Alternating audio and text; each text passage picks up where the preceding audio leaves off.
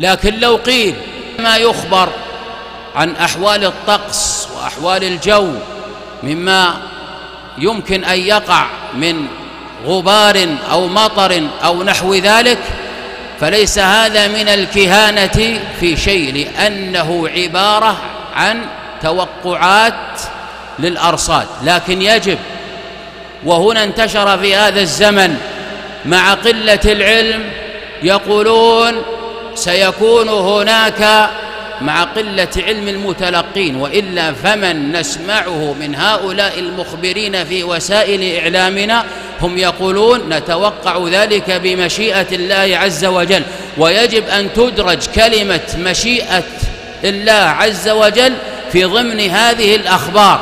لكن من هم في هذا الزمن من هذا الجيل يتناقلون بأن هناك غبارا سيأتي أو أن هناك أمطارا ستأتي في ذلك اليوم وينقلونها على خبر التعيين والتثبيت واليقين وهذا خطأ محض.